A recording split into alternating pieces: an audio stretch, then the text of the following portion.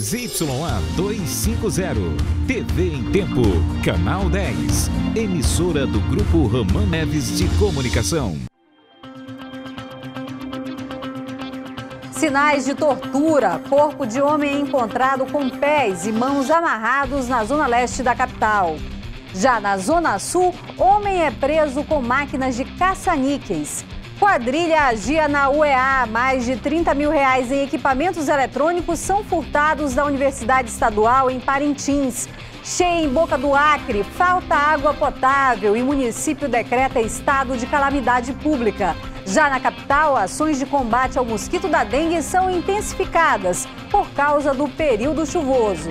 No futebol, Manaus derrota Iranduba por 3 a 1 na abertura da quarta rodada do estadual. O Jornal em Tempo desta quarta-feira já está no ar.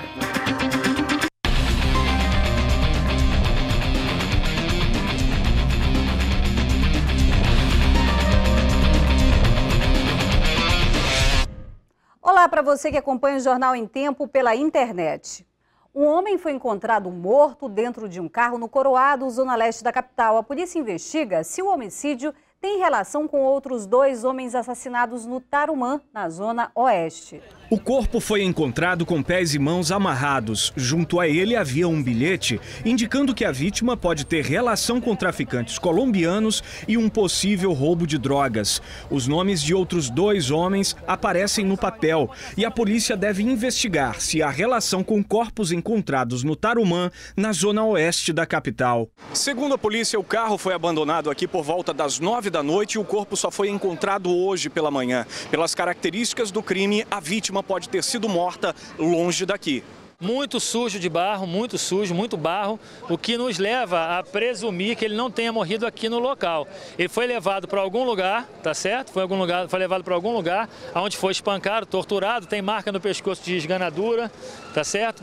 É, a gente não sabe se ele morreu em função, não dá para ter essa conclusão nesse momento, em razão do tiro ou se em razão da asfixia, só o IML para dizer. As imagens de uma câmera de segurança mostram o momento em que o carro é deixado na rua Astro Barroso, no Coroado, Zona Leste. Primeiro chega um motociclista, depois o carro para. O motorista desce da caminhonete e foge rapidamente na garupa da moto. O veículo não tem restrição de roubo e foram encontrados documentos que podem levar ao proprietário. A perícia também achou uma cápsula de pistola .40 dentro do carro. As primeiras suspeitas levam a uma possível ligação da vítima com traficantes colombianos presos recentemente em Manaus. O caso é investigado pela Delegacia de Homicídios e Sequestros. O corpo foi recolhido ao Instituto Médico Legal. Na Zona Sul, a polícia apreendeu em um bar sete máquinas caça-níqueis. Uma pessoa foi presa. Os detalhes com a repórter Priscila Gama. Olá, Priscila. Olá, Marcela. João Maciel, de 52 anos, foi preso nesta terça-feira em um bar na Cachoeirinha. A polícia chegou até ele por meio de denúncias anônimas. Chegando ao local, nós podemos constatar é, a existência dessas máquinas que, segundo constavam nas denúncias, é, elas estavam num lugar que aparentemente funcionava um bar, uma mercearia, que servia para dissimular a atividade ilícita que funcionava no compartimento de trás desse estabelecimento. E ao chegar lá, conseguimos constatar a veracidade e apreendemos essa, essa quantidade de máquinas que vocês estão vendo aqui. No local foram encontrados um caderno de contabilidade das máquinas que informava o valor que João ganhava por dia. Sete máquinas de caça-níquel, seis munições de revólver calibre 38, três munições de espingarda calibre 12 e 933 reais em dinheiro. João Maciel foi autuado pelos crimes de contravenção de jogos de azar e posse ilegal de munições. Ele pagou fiança e vai responder o processo em liberdade. Eu volto com você, Marcela. Obrigada, Priscila. E o Sindicato dos Professores vai realizar uma assembleia para discutir mudanças na administração da Universidade Estadual. Mas o governo já admitiu que houve um erro no texto da reforma administrativa que fez a alteração.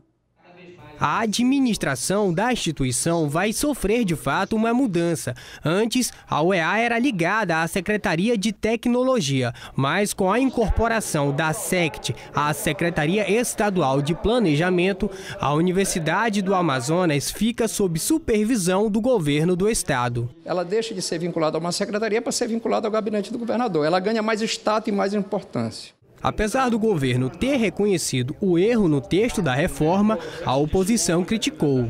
Isso mostra né, como o governo acabou fazendo uma reforma administrativa meio atrapalhada, não analisando consequências de algumas dessas alterações. A situação serviu de pretexto para a incorporação da SECT voltar a ser questionada. Se tivéssemos mais tempo para debater esse projeto, talvez o próprio governo se obrigasse a reconhecer essas falhas, a extinção da SECT, que foi lamentável. O texto corrigido deve ser encaminhado à Casa Legislativa nos próximos dias.